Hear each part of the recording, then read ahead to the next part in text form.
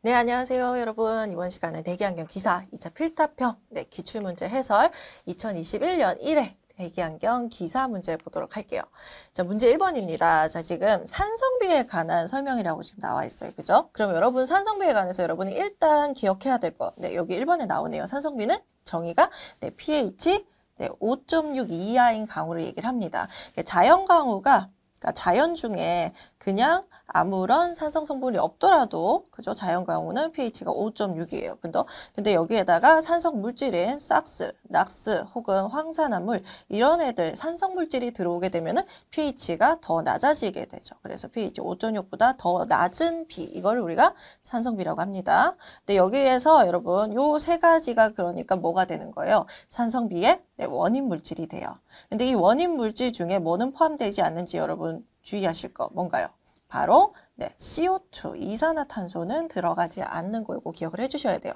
왜 그런가요? 이 자연 강우를 pH 7이 아니라 5.6으로 만드는 그 원인이 누구기 때문에 CO2기 때문에 이것보다 더 낮게 pH를 어, 만들기 위해서는 CO2는 들어가지 않는 거죠. 그래서 그거를 여러분 정리를 해주시면 됩니다. 자 그러면은 문제 돌아가서 정답에 적을 땐 여러분 어떻게 적어요? 1번의 정답은요. 네, pH 5.6이 될 거고요. 자 그리고 정상적인 공기 중 산성을 일으키는 무슨 가스 농도가 350ppm 존재하며 이거 정상적인 공기라고 했기 때문에 뭐가 되나요? 바로 자연 강우의 원인이 네, CO2 혹은 뭐 이산화탄소 이렇게 적어주셔도 됩니다. 그래서 2번 정답은 네, CO2가 됩니다.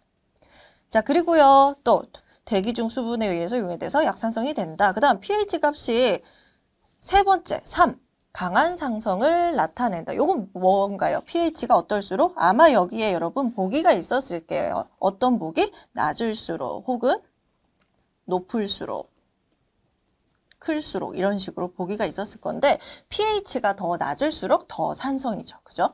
pH 낮을수록 수소이온 농도는 높을수록 훨씬 더더 산성이 세기가 큰 겁니다. 그죠? 요거까지 여러분 정리를 해주시면 되겠네요. 그래서 pH 값이 네, 세 번째, 3번 정답은 낮을수록이 되겠습니다. 자, 이렇게 해서 여러분 정답에 이렇게 세 가지 넣어주시면 네, 됩니다. 네, 1번 문제 봤고요. 1번은 이거 완전히 그냥 여러분 점수 따는 문제였죠. 2번 보겠습니다. 원심력 집진 장치에서 이거 항상 매번 나오죠, 여러분. 매번 나오는 거예요. 별표 3개. blowdown의 정의를 쓰고 그 다음에 효과 3가지를 서술하시오 그랬어요. blowdown 정의, 효과 요거는요. 계속 물어보기 때문에 여러분 그냥 웬만하면은 다 외워주시는 게 좋아요. 근데 제가 말씀드렸죠. 항상 뭘 위주로? 키워드 위주로. 정리를 하라고 말씀을 드렸어요.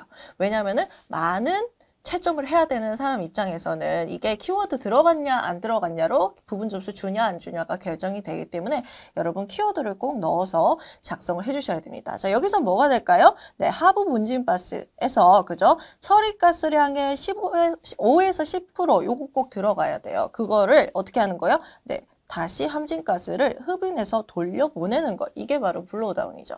자, 다시 한번 정리합시다. 우리 원심력 집진 장치예요. 그러면은 여기서 우리가 함진가스를 넣어주고요. 그러면 함진가스가 쭉 여기서 원심력에 의해서 탈탈탈 털려갖고, 그죠? 이, 여기, 하부의 내부 분진가스, 여기죠? 이쪽으로 탈탈 털려서 이쪽으로 먼지가 모여요. 그럼 이 중에서 얼마나? 네, 5에서 10% 정도, 그죠? 처리가스량의 5에서 10% 정도를 다시 돌려보내는 거예요. 그래서 다시 여기 넣어서 이제 흔들어 주면은 어떻게 돼요? 원심력이 더 증대되죠. 그래서 어, 처리가스 효율이 증가하게 되죠. 그죠? 그래서 우리 blowdown 효과로 보면은 중요한 게 이겁니다. 네, 원심력이 증대돼요. 그러니까 당연히 집진율이 높아지게 되고요. 왜 그래요?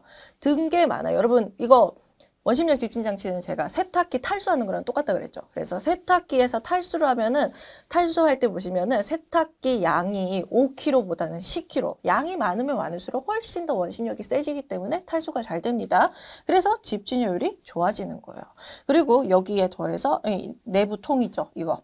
내통의 폐색을 방지한다. 요거 다른 말로 더스플러그 방지가 되고요. 그 다음에 여기서 이제 여기 분진 박스 안에서 분진 재비산을 방지할 수 있는 것까지 여러분 기억을 하시면 돼요. 보통은 세 개 정도 물어봅니다. 그래서 이 중에 여러분 세 개를 기억을 해서 네, 작성해 주시면 돼요. 이거는 정말로 잘 나오기 때문에 여러분 꼭꼭꼭 기억해서 네, 바로 여러분 점수 맞추기 위해서 네, 나오는 거라고 생각하실 정도로 네, 잘 봐주셔야 돼요. 네, 3번 보겠습니다. 자, 이것도 내용 문제네요. 상자 모델이에요. 자, 가정 있죠, 우리. 상자 모델, 가정, 그 다음에 또 어떤 가정 나오나요? 네, 우리 뭐 경도 모델 가정, 이런 여러 가지 가정이 나와요. 그러면 이 가정을 여러분 암기하셔야 될 부분이죠. 자, 어떤 게 있나요? 제일 중요한 거 상자 모델에서는 요거 면배출원이라는 거 기억을 해주셔야 되죠. 우리 뭐 경도 모델 같은 경우에는 점 오염원인데 얘는 면배출원인 거. 그래서 요거 넣어주시면 좋고요. 그리고 여러분 네 가지 서술하라 그랬어요. 보통 다섯 가지 까지 외워주시면 좋아요. 그래서 다섯 가지 외우기 쉬운 거 보시면은 항상 이제 어느 모델인지 들어가는 게 있어요. 네, 균등하게 전 지역에 혼합된다. 그러니까 균등하게. 농도가 균, 균일하다 이런 거죠. 그 다음에 배출원이 균일하게 분포한다. 그죠? 바람 항상 풍속과 풍향이 일정하다. 그죠? 요것도 중요하고 웬만한 반응 아니고서는 전부 다 2차 반응 없습니다. 1차 반응만 합니다. 그래서 요것만 여러분 기억을 하셔도요. 웬만하면 이거 배출원이 뭐 박스면 면배출원이고 뭐 경도면은 점오염이고 이렇게 바뀔 수 있지만 이 2번에서 4번까지는요 대부분의 모델 가정에 다 들어가요. 그러니까 이거는 하나 요거를 외워두면은 다 전천후 사용하실 수가 있겠죠. 그래서 2번에서 5번까지 요거는 꼭 기억을 해주시면 좋습니다. 아셨죠? 그렇게 해서 여러분이 정답을 네 여기 있는 거 적어주시면 됩니다. 자, 이거는 암기 문제이기 때문에 제가 설명을 드릴 부분이 없어요. 그러니까 여러분이 이제 쓰는 연습을 하셔야 되는 부분이에요. 그래서 이 중에서 여러분이 네, 외우기 쉬운 거 4개 써주시면 돼요. 저는 추천드리는 거 1, 2, 3, 4번 추천드립니다.